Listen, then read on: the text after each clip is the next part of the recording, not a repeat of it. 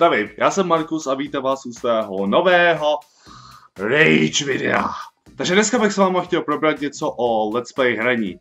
Tohle tomu tématu jsem se hlavně dostal díky článku na Games.cz, kde se o tohle slovo trošičku zabývají. Psali tam třeba o úspěchu o jednom z nejodebilnějších youtuberů na světě, což je PewDiePie, jak většina nejspíš ví a taky trošku kontroverzi okolo let's play hraní. Když jsem se trošku ponořil hlouběji do tohohle z toho článku, tak moje reakce byla asi takováhle.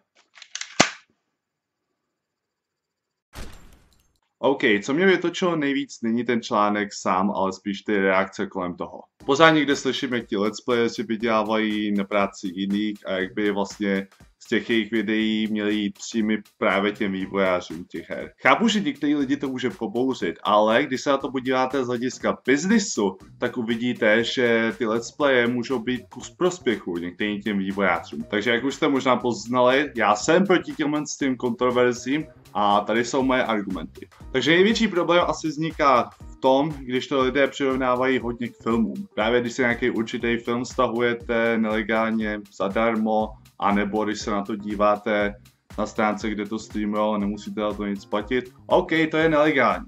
V čem ale já vidím ten velký rozdíl v tom let's playování je ten člověk právě, co tu hru hraje. Popravdě, kdybychom se měli dívat jako na samotnou hru, jak je to trošičku nudný. Aspoň pro mě teda. Právě to hlavní zaměření není na tu hru, a právě na toho člověka, co tu hru komentuje. A právě zájem diváka necílí na tu hru, ale na toho daného člověka, co tu hru komentuje a hraje. Vysvětlím vám to na jednom příkladu.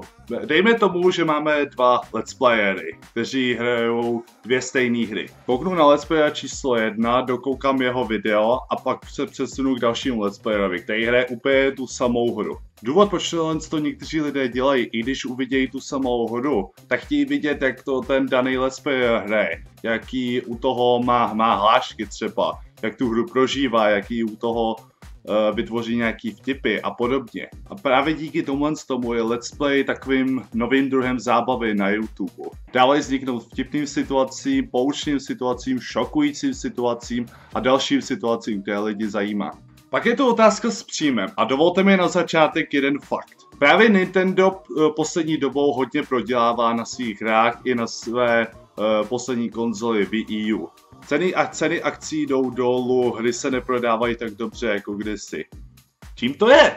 Je to jeden z důvodů, proč teďka nové konzole Xbox One a PlayStation 4 mají zabudovaný sobě live Steam systém. Protože tyhle ty dvě společnosti právě podporují let's play hraní. Protože oni právě vidí výhodu v tomhle tom let's play hraní, že kdokoliv slavnější by hrál jejich produkt, čili videohru, tak je to pro ně hrozně výhodná reklama. Veme si další příklad a to klidně na PewDiePieovi. Jakoukoliv hru on si zahraje, tak její popularita vyletí nahoru přímo raketovou rychlostí. No a Flappy Bird by se tak dobře neprodával díky PewDiePie. Jakmile on si tuhle tu hru zahrál a udělal o ní video, tak hned uh, v první den měl nějaký přes miliony slednutí a lidé tuhle tu hru začali stahovat. Tomu se říká bezplatná a hlavně hrozně výhodná reklama. A to právě blbý Nintendo si neuvědomuje. Důvod, proč právě nikdo natáčí jejich hry, je ten, že Nintendo právě chce spoplatnit všechny ty videa, se natáčejí jejich hry a tím vlastně, aby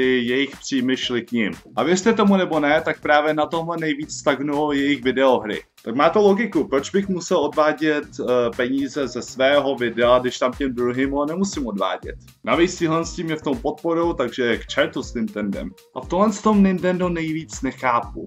Mají skvělou bezplatnou reklamu, která v dnešním světě funguje, tak bych toho kurňa nějak využil. Jenže nevím, jestli to pojíme jakýma morálníma zásadama, ale prostě je to takhle. Když jste obchodník, tak nehledíte na nějaký morální zásady, ale na to, co je pro vás nejvíce výhodný. Tohle to bych to všechno skrnul, co si myslím o let's playerství. Prosím, kdybych eh, na něco zapomněl, nebo jestli byste měli nějaké otázky, tak mi to vypište dolů pod video. Jako vždycky, pokud se vám video líbilo, tak mu zanechte palec nahoru a já se s vámi těším u dalšího videa. Zatím zdarec!